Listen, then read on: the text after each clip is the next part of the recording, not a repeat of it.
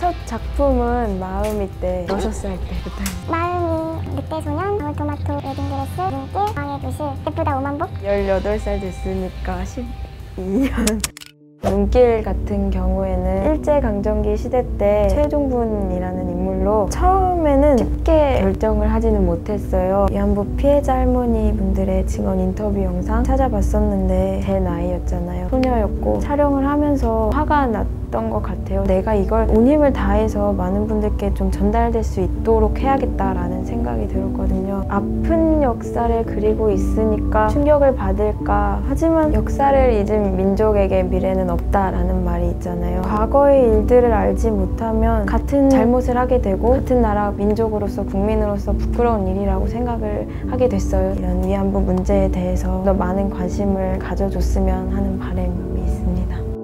한 나라의 국민으로서 그리고 개인 여자로서 되게 안타까웠고 이게 사실이잖아요. 근데 믿기지가 않아요.